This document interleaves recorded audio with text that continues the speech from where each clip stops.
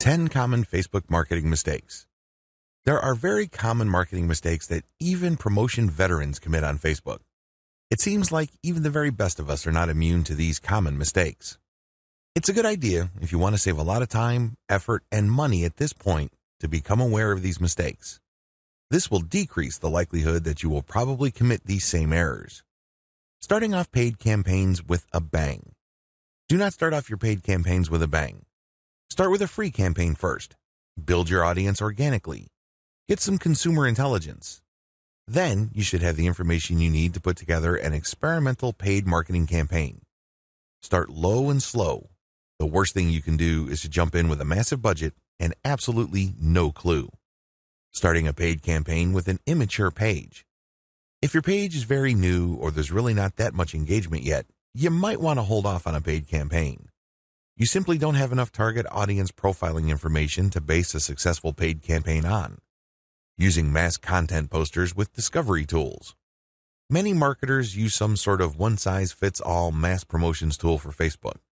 They would discover all sorts of Facebook groups and pages, and then they would use this tool to spam those areas. Don't do that. You're not doing your brand any favors when you do that. All you're really doing is you're spamming. It's only a matter of time until you get banned promoting direct affiliate links or direct sales page links. There's an old saying, you can lead a horse to water, but you can't make it drink. By the same token, you can get a lot of people on Facebook to click on your links, but don't expect them to convert once they go to that affiliate sales page or your own direct sales page. Why won't people buy? After all, they did click on your ad, right? Answer, they haven't been properly qualified. In many cases, they click out of curiosity Maybe they clicked by mistake. Whatever the case, you still did not get a sale. Posting direct links is not the way to go. You have to build confidence. You have to build trust first. Pulling random content and curating them based solely on keywords. You can't be lazy and just set Facebook publication tools up to just pull any and all content from Facebook that has something to do with your keywords and then just blast them out. You're just spamming when you do that. You have to be very deliberate and careful regarding the kind of content, whether curated or not, that you will associate with your brand. Rotating and republishing the same content over and over again. Have you ever gone to a Facebook page and it seems like all the content got reposted over and over again within the same day? The idea behind this practice is that the more Facebook audience members see the content, the more likely they will click through. It looks like you're just spamming your page fans over and over again. Don't be surprised if they unlike your page. Wholesale optimization of ads. Another common rookie mistake on Facebook involves paid ads.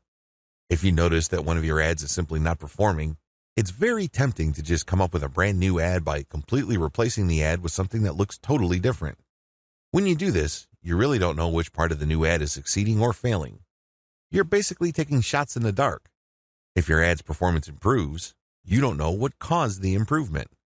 You have to have some sort of strategy or method that will enable you to track where the improvement in your click through and ultimately your conversion rates are coming from. Simply swapping out ads in total or in whole doesn't really give you the data that you need to make effective decisions. Copy and paste competitor ad strategy. Some marketers are so lazy that they would just look at their competitors and essentially just copy their ads. Of course, they're not going to copy word for word, but they still end up failing. How come? Well, your competitor spends a tremendous amount of money optimizing the ads that they're showing. Their ads work. However, you won't get a competitive advantage if you copy them wholesale. You can't just copy somebody's ad without knowing what you're doing. Indeed, only a certain portion of your competitor's ads truly deliver results. If you don't know what you're doing, you don't know what portion that is, so you're basically taking a wild stab at your ad's design. You may be saying the wrong things at the right time, or you're saying the right things to the wrong people. You end up failing. Quitting paid marketing too early. Many rookie Facebook marketers have a one time, big time mindset. They've heard of how awesome Facebook traffic is, so they put together some hard earned, precious capital to run an ad campaign. If the campaign doesn't work out according to their expectations, they're too quick to pull the plug and quit FB ads altogether. Just because things aren't working out, it doesn't mean that you have to pull the plug on the whole thing. You can stop certain campaigns and start new ones and operate with the same budget. You'd make modifications of your existing campaigns. Failing like a huge train wreck. Have you ever seen a slow motion train wreck? It's quite sad because it's all too predictable, but you can't turn your head and look the other way. You want to know what's coming next. You know, at the back of your head, what exactly is going to happen, but it's so slow, so massive, that you just can't help but look. Your Facebook marketing campaign can proceed the same way. You know that the campaign is failing, but you can't quite put your finger on the cause. So you just go through the motions like a deer with its eyes caught in the headlights. Why not choose to learn how to fail quickly? Since you're not going to make 100% of your shots, learn to live with this fact and move on. Learn to fail quickly using a tiny budget. This way, you can run many different experiments. Even though the vast majority of them are failures, that's okay you only spend a fairly small amount of money figuring out winning ads. Please understand the nature of the 10 mistakes above. Imagine yourself being in situations where these mistakes are likely to take place. Learn how to spot them well in advance. Prepare your plan B should you find yourself committing these mistakes.